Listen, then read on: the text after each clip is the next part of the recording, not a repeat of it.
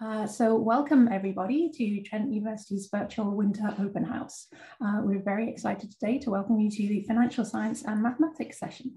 My name is Lucy Connolly and I'll be moderating this session. And with me today, I have Dr. Wesley Burr, who is an associate professor in the Department of Mathematics, uh, as well as Molly Patrick, who's a second year mathematics and teacher education stream student, and Andrew Mackay, who's a fourth year math major, computer science minor student.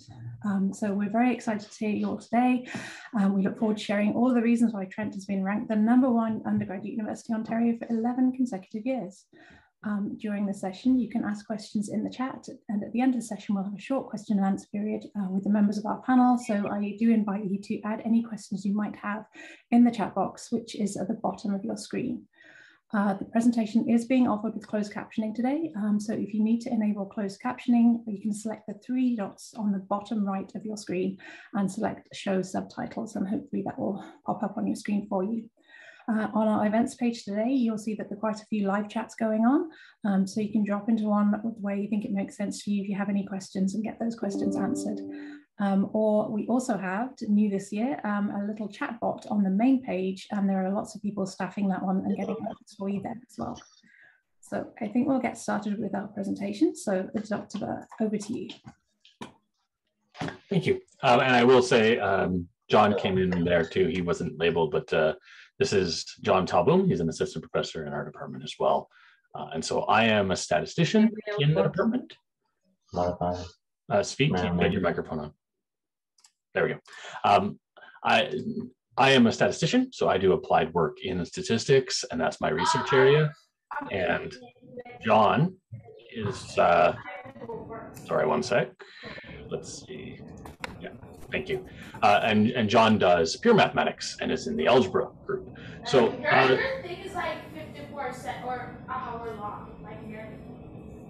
Okay, let me have this one. Maybe we should set it so people are auto muted as they join because they don't seem to realize. There we go. Um, sorry, the feedback is loud enough. Um, so we're, we're, a fairly small department, as most departments are at Trent. Um, there's nine faculty members in the department, and we offer one sort of degree directly, and then an additional degree in conjunction with three other departments, which is the financial science, and I'll talk about that in a minute. And then we have several specializations within the degree, which is the bachelor's in mathematics. And uh, I think I'll let John tell you a little bit more about the math program that we offer, as he is the mathematician, and then I'll tell you a little bit about financial science. And then we have two lovely students here who are in our program who can give you a little bit of information about what it's like to be a student at Trent in our department. So John, can I hand it over to you to tell them a little bit more about the sort of pure math courses and how that's all working? Sure, thanks Wes. Can you hear me okay? Okay, great. Right, so um, Wesley was saying that he's in statistics and I'm in algebra. And uh, I mean, if you know a little bit about math, you might put us uh, kind of at the opposite ends of the spectrum there um, when we look at things as sort of being pure math or applied math. Um, and uh, just to kind of to give you a bit of information about that, I mean, it, it's not really drawing a line in the sand that there's only pure and there's only applied math. It's it's really uh, they go hand in hand, and sort of the difference between the two really is um, the the way we approach uh, studying math or why we study math. The applied uh, mathematics sort of um, attempts to do research in math to um, solve real world problems. And uh, oh, we got a hoodie uh, draw going. I see that. And, uh, whereas the pure mathematician really is studying math for its own right to to develop more mathematics and to solve problems within math. And that's not to say that applied mathematicians don't do pure math in their endeavors and that it's, it's also not to say that pure math has no real world applications either um, so um, in, in, any case, you may find that you um, like sort of more uh, applied than pure or more pure than applied. Um, but uh, there, we, we offer a range of courses at Trent. And from the pure math side, um, I can tell you about the courses that I teach. Um, we have a, an algebra stream. So we have linear algebra one, linear algebra two, and then we have a abstract algebra course called uh, group theory, and then another one um, uh, called Rings and Fields. And then uh, we also have a calculus stream. We have uh, calculus one, two, three, and four. And Um, we, we, also offer some other uh, pure math uh, at, at a higher level. We have uh, complex analysis, real analysis. We have a discrete math um, uh, stream as well with uh, graph theory and uh, combinatorics. So, and we, we've had geometry classes as well in the past. So um, there's a, a, broad spectrum of math that you can take. And coming out of high school, you've, you've maybe only taken sort of the um, math at, at your grade level and progress that way. But once you get to university, you get to uh, choose a bit more. Um, I won't speak to the uh, applied math courses as much because I don't know as much about them. But with with applied math, um, your chances of getting a job after graduation uh, are much higher because you're you're looking at things that you can actually do uh, after you graduate from university. If you were to go the pure math route like I did, you're looking more at um, teaching or academia. There are some research positions that uh, you could uh, maybe do as work afterwards. Um, for, for example, I know uh, somebody who did a pure math in, um, in, disc- in discrete math. They studied sequences over finite fields, and they went on to uh, work for the government of Canada at CSEC doing cryptography. Um, so uh, in, in, any case, I, I, just wanted to point out that uh, you you get to choose a kind of different courses that you like, and you'll you'll take some basic ones at the beginning, and you'll sort of branch out from there, and you you see what you like as you go. But there's there's really no need to cut yourself off from one or the other. You can um, you know do a bit of pure, bit of applied, and then figure it out as you go. But um, as I say, we, we use the same math in, in both uh, sections anyway. I know Wes in his statistics course is using linear algebra, which is which is what I teach, and he certainly uses calculus as well. So um, anyway, I, I, don't know if I have much more to say about that, but um, one of the benefits I would like to point out about Trent is um, our small class sizes. And uh, a lot of the students uh, can attest to this. It, they really appreciate um, having the, the intimate atmosphere and we have a really nice um, math lounge in our math department where students will come together and discuss problems. And I've seen um, sort of the more senior students helping out the junior students and things like that. And uh, it's a really nice open atmosphere. It, it, it, doesn't feel like competitive and, and uh, it's, it's really collegiate. People are helping each other out. And I, I would say that this is kind of a unique thing for Trent. Um, I, am sure other schools are, are uh, friendly in this way as well, but I've also seen the opposite at, at larger schools too, um, where it can get more competitive. And uh, it, it, has been a really friendly experience here for me um, since I've started working here, so I can say that. Anyway, Wes, I think I'll turn it over to you for, for some applied math. Okay, and, and so what I'd like to sort of give give you folks, you're coming from high school, and as John said, like you're used to just taking what you've been told to take or you you're looking at programs you're applying for you take the prerequisites for those programs and you don't get a lot of choice. But when you once you hit university that doesn't go away com- completely and in your first year at trent if you're a math major or a mathematical physics major or whatever um, you will have courses you have to take like calculus. You have to take calculus if you're going to proceed in the more technically oriented streams, whether that's chemistry or physics or math or, computer science. But then once you hit second year, you start to get more choices. And, and then in third year, you're almost entirely open and you get to choose what you want to take across the board. And that's where the differentiation really comes in. Because if you end up focusing on statistics and we have a specialization in statistics, it's like a minor. So you get a math degree with a specialization tacked on top of it you only start making decisions about your courses to go down that stream in your third year. And similarly, the same is true for mathematical economics, although you have to plan a little bit more for that one because you have to take econ courses as you go along. And that sort of is our applied groups is that once you hit the end of second year, you've had exposure. You've taken calculus, you've taken algebra, you've taken one statistics class, you have probability, you have the background to take any of our streams.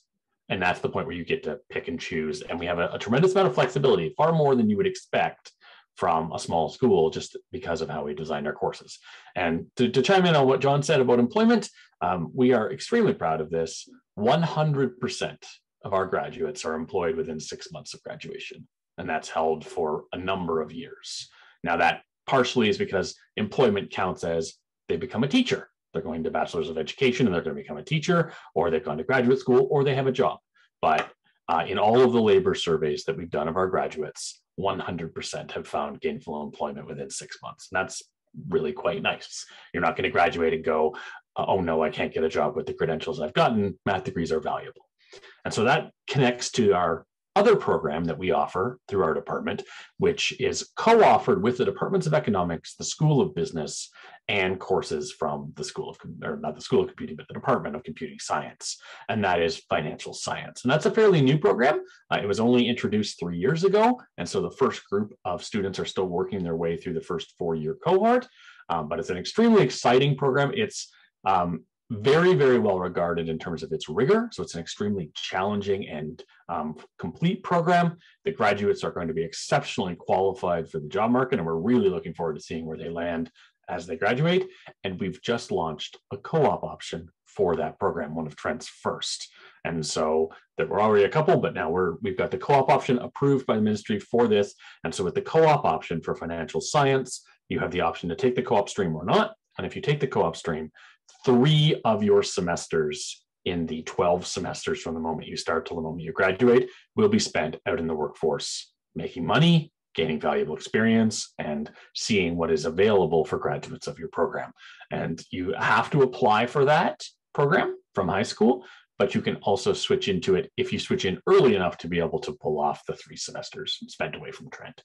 And to start, it's your first summer. So you have to make the decision before your first summer at university because that's when the co-ops start. And the co-ops are a little bit competitive. They do have a higher grade requirement than the regular program, um, but we're extremely excited about it. We have a lot of banks and insurance companies and finance companies really, really interested in having our graduates come and visit them. Connected to that, we've also just launched an internship option within our math degree. And what that is, it's not a full-fledged co-op. It's not as, as rigorous and requiring that you spend so much time away, but it's the option to take an internship course in your third year summer and you go off and you and you have an arranged placement with an employer for that summer you work you gain really valuable experience and you get a credit for it in your degree which is the internship credit and we've launched that and we've had it approved and we're trying to arrange the first set of internships for this coming summer. So if you come to Trent, that will be an option. It's already set up that you can certainly pursue. And on top of that, we have a lot of sort of placement-y things, uh, community-based research projects, our thesis projects sometimes end up there, and summer research, where um, the best of our students have the opportunity to spend the summer working with a faculty member on a research project paid uh, for the duration of the 16 weeks over the summer term. So this is our program. We have the degree in mathematics, the specializations in statistics and, and uh, economics. There's also the mathematical economics degree. And there is on top of that, our financial science degree, which is now working its way through its first set of cohorts. So these are the programs we offer. There are the co-op streams. So if you are looking at UAC and you're looking at the things, you kind of can see that there's all these sort of sub things you can select almost all of those can be selected after the fact if you decide to come to Trent. So if you come to Trent and you take the math degree and you realize that the financial science sounds interesting, but you really weren't sure about it back in high school, if you choose the right electives in your first year, you can change into financial science at the end of your uh, first year.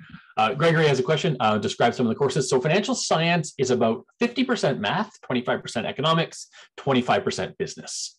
And so in first year, you take all the same math courses that Andrew and Molly did, all the math courses that a math major would take, calculus one, calculus two, linear algebra, probability. But then on top of those courses, you take economics one and two, micro and macroeconomics, and you take accounting one and accounting two, and you take a computing course and you get one elective. And then in second year, you take almost the same courses as Andrew and Molly, and you take more calculus, statistics, more linear algebra, more probability, and more economics. And then in third year, it starts to open up and you take courses in mathematical finance, in portfolio design and risk analysis, in econometrics, which is the mathematical study of econ economic systems. And in business, you start getting into business management and courses that are related to the stock market and understanding how finance systems work. And then more statistics and I, I sort of tack those on at the end because those are the ones I teach. So I, I just kind of assume that they're there. And then in fourth year, it opens up even again. And what you have are capstone courses.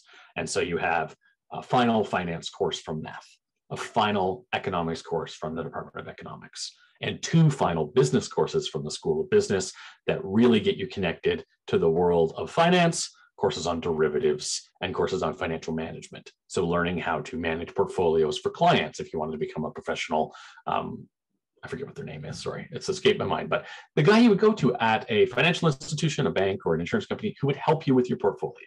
They're called financial advisors, and the difference between an advisor with an ER and advisor with an OR is different, but I don't remember which one is which, and I'd have to look it up. One of them is credentialed and one of them isn't. And it's silly, but that's how it works. So financial science has a lot of required courses. That's the one thing about that degree is that um, it has the highest number of required courses of any program at Trent across the board. Like the, the courses are set and you take them and you have to take them to graduate. You get the least number of electives, but you graduate with one of the strongest degrees we've ever created. And employers look at what you know these students are covering and and they're waiting for the first cohort to graduate so they can hire all of them. And we were told by the external people who came in to evaluate the program when we proposed it that it is the strongest program they've seen. And it is extremely strong. It will be challenging. I don't try and deny that. You have to be able to hack a math degree with economics and business tacked on top of it but you will gain a huge amount of skills we're, we're getting tons of funding. So we're, we're setting up a new lab specifically for this program. You're going to gain experience using Bloomberg terminals for deal, dealing with the stock market and the, and the commodities markets. You'll gain a tremendous amount of statistical skills. You'll learn to program in five different languages so that you can do data analytics for finance. It's, it's just this huge, exciting program, and the students who are in it are going to have a great time. And so, again, if it sounds interesting to you, but you're not sure, but you are coming to Trent. If you're in the math degree, you can switch into financial science for second year, so long as you take those right prerequisites in the options for your first year. So a typical math major at Trent only has four courses required in the first year of the 10 that they take. The other six are up to them. If you select those correctly, you can then switch into financial science or switch into mathematical economics at your second year without any penalty, without slowing you down, without losing out on any time. And so if if any of you are wondering about that and trying to make decisions, but you know you're coming to Trent, feel free to email me. I will help you set up your courses and make sure that you're in the right stuff so that you have that flexibility at the end of your first year to go, you know what? No, no, I, I want to be in in math. Finance really isn't for me. Or I want to do the finance. That seemed really cool and I want to go down that path. So that's what we're going to say. We're happy to take more questions at the end, but um, sorry, there's one more question. Reduce course load and take longer. You can. And the advantage of that is that you then have more flexibility with the co-op. You can absolutely do a five-year program with co-op attached and take the co-op in different semesters. But some of the prerequisites are kind of tricky. So if you did want to do that, please come talk to the, the chair of math, who will be me as of July, so we can help you. Because if you mess up a year, it could cost you a lot of time because the courses have to come in sequence and you could you could sort of trap yourself in a corner where you can't take the courses the next year because they're just not set up right. So you absolutely can do it. There's lots of flexibility but it does take some finagling. So please do seek out help. Um, i think on our list molly uh, lucy we we said that we were going to have andrew and molly have a chance to talk. Is that right uh, sorry, you're muted, so I assume you. sorry, rookie mistake. Yeah, absolutely. Yes, we'd love to hear from the students as well. But thank you. That was a fantastic overview of the program. Lots and lots of information there. Um, with the co-ops and the internships, I know you said you're sort of in the process of setting these up. So do you have anything lined up? Do you anticipate that students will have to take these sort of in the Peterborough area, or is it going to be a lot wider? Can they take it closer to home, wherever home is? Uh, at the moment, we are trying to find the local ones for the internships because it's just one semester. For the co-ops, we're spreading our net wider. Um, students will be able to select a geographic area. And what we expect is that most students will say, I would like a co-op in Peterborough, where I live, or where my family lives, wherever that might be. And so if you have family in the greater Toronto area and you want to try and live with your uncle and aunt or your parents, if they're in the GTA for four months while you do that, then that's certainly an option. But we would never try and make someone sign up for a co-op in a place where they don't have the ability to live because that's really inconvenient. Um, having said that, my experience with co-op programs says if you want to go co-op, you have to be a little bit flexible and be be able to kind of dynamically switch your living arrangements because if you get a great opportunity and you want to take it, but it requires that you be in downtown Toronto, you can't commute to downtown Toronto from Peterborough. I mean, you could try, but, but I, I wouldn't recommend it. No. So, so what we're trying to do is find enough locals that if everybody wanted to stay local, they could, but have that flexibility. If you're from Ottawa then we'll try and find some placements and connections in Ottawa so you could go home and live at home and do your co-op for four months and then come back to school. Okay. Um, so that, that's the current plan. It's our it's our first cohort right now. I'm I'm talking to employers and we're arranging it for the first like three people who wanted to do it. But this incoming first year is our first full year of we will have co-op across the board for those who wanted to take it, and those people will be set up for what is it, summer of 2023 to be able to be the first wave of full co-op will be going out. So I'm guessing you meet with them pretty early on to see where their interests might lie and where they might like to be. Oh yeah, they have to. Uh, they, they would be interviewing for co-ops in February, March, and so the, the, the early placement sort of stuff would happen in the fall, and then in in January we kind of make the list and say, okay, who's met the prereqs, and then the interviews get start getting set up and they start arranging their placements. And this aligns with the other universities. Waterloo's um, co-op terms for the summer are interviewing right now. Um, I know this because my spouse works for a company that's hiring co-op students from Waterloo as part of their internship program, and she did 11 interviews last week with students. And keep that in mind for co-op. It's not a it's not an assignment. It's not I take you and I put you into place. It's I tell you this is eligible and you apply for it and get interviewed. They're all competitive. And so you could want something, but if they don't like you, you have to you have to be flexible and you kind of have to apply for a bunch of different options. So keep that in mind. It's not just a like, I tell you you're going to work at CIBC for the semester. Good to know. Let's uh, let's hand it over to the students. So let's hear from you too. Maybe um, Molly first. So uh, Molly, what do you love about your program? Um, I really enjoy the small classroom sizes. Like my whole first year was all online, so I had never really had big math classes, which I think was kind of a blessing because I like having the small interactive classes. So I think that's really a benefit of coming to Trent um, and being in the math program. But you're also taking teacher education at the same time, is that right? Yes, I am. So the teacher education stream, I take one course per semester and I get to do a placement for that as well. So um, yeah, I have that's all online actually right now, but I've gotten lots of experience from doing placements through the education stream. So, and the two things combine pretty well, I would guess. Yeah. Um, uh, so, Andrew, maybe we should turn it over to you as well. And what do you have um, in terms of advice for anybody planning to come and study at Trent?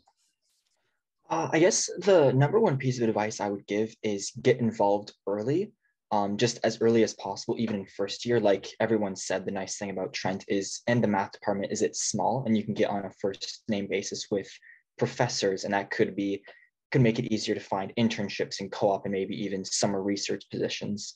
Um, and just make a name for yourself. You definitely can at Trent, where at other universities where there's 20,000 students or so, there's so much more you can't do that. Where at Trent, you are a big fish in a small pond, I think the saying goes. So just get involved, whether that's through the math club, um, like coming to the resource room in Gzowski College, like um, like Wes said, it's a very welcoming environment, and um, there's definitely people there to help and give you advice on anything math or just life related, even. And so you're taking computer science as your minor. Um, so was that going back to the flexibility of the program? Was that something you knew right from the beginning, or did you decide partway through? Yeah, I actually, I think I decided in my the first semester of my third year when I was selecting courses, I kind of saw the path I was going. I knew I wanted to go the statistics route and the programming side. So I knew I had a few computer science credits that I t- took as electives in first year. Um, and yeah, it was after that point I decided, okay, any elective I get, I um, it'll be computer science related. Okay, got you. Um, so we've only got five or so more minutes left, and I don't think uh, we've got any more questions in the chat right now. Uh, yeah. Oh, so there's one. How many students are there in the financial science program? And I see we've got an answer. First cohort was five, and the second was nine. So aiming to get it up to 20 to 25 every year. Perfect. Yeah, there will never be more than 40 students in the program. That's what we've set as our as our cap um, we launched this new program and we were very excited about it. And then March 2020 rolled around right as we were recruiting for the first cohort, and everything in the world changed. And right. so only a few students came that first year, and we've seen growth already. We're expecting with the co-op we will we will be um, over 20 this coming year because there's been a tremendous amount of interest now that we have the co-op option. Um, but it's, it's still still what Molly said is very valid. You will not take many courses, especially not in the math department. You will not take any courses past second year with more than 25 students. Right. There's a there's a bit of growth, but you know the largest class I've ever taught in third and fourth year was 20 people. Presumably because um, you're specializing sort of downwards, everything gets more specialized and particular as you get further through the program.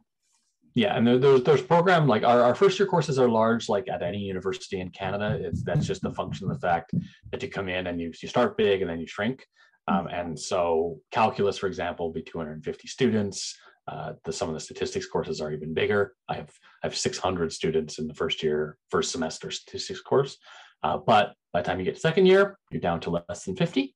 And that's just because we still have computer science and physics sharing courses with us. And in third year, you're down to the math majors. And you know, Andrew is in one of my courses right now, and we have 14 people. So it's it's very intimate, and everyone gets to know the professors very quickly because uh, there's not very many of us. And so that has some downsides. If you don't show up to class, we know, we can see you're not able to hide in the back row.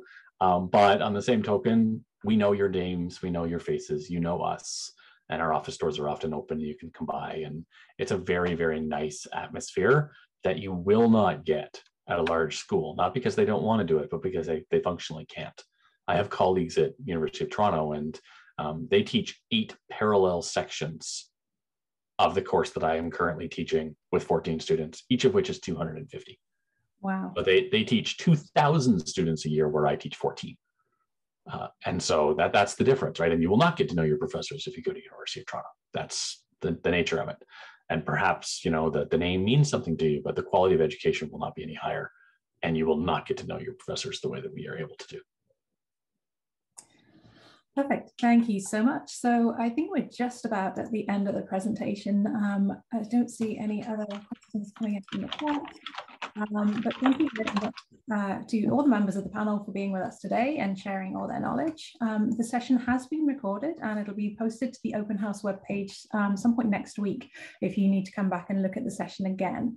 Um, we're also advertising today. We are now hold, um, going to be holding in-person open house events in the spring. So the Peterborough campus one will be on the Saturday, the 7th of May. If you'd like to come and visit the campus, we'd love to see you there at the open house. Um, also, we are hosting in-person tours, so you can book those as well on the Trent website. Um, there are still some other sessions starting today. Open House doesn't close until three, so please do tune into one of those. Um, and as I say, if you've missed a session that was held earlier today, then they'll all be recorded and they'll be on the website next week. Um, if you have any questions after the event, um, please do email us discovertrent at trentu.ca. Um, and I'm also going to ask if anybody uh, in the department would like to suggest what would be the best email address for students to contact them if they have questions that are more specific to math. And if any of you do have questions about uh, our programs, whether it's math or our specializations or financial science, you are more than welcome to email any of our professors. Uh, we all have our emails on the webpage. John and I would, would welcome emails if you have questions about our program. Uh, and we can, we're happy to talk to you one-on-one -on -one with details. If you're really tossing up between two programs, we can at least give you answers to your questions, which may help you make decisions. Okay, so is there is there a departmental email address? Like, is it math? There is. If you just email math at trentu.ca, you will get our administrative assistant, but you are welcome to just email us directly as well if you would like. If you have questions about things, uh, if you have questions about the financial science program, I'm the best person to contact because I wrote the proposal for it. Uh, and if you have questions about our pure math stream, John or one of our other pure math people may be slightly better, but you're also welcome to email me and I will just forward it to them if they can answer the questions better than I can. Okay, so I've just put the math at Trent U one into the chat box, and so if, uh, if I, like I say, I'm sure they'll get forwarded to the right place if that's the way they go through. Uh, thank you very much, everybody. Enjoy the rest of your day, and thank you for joining us.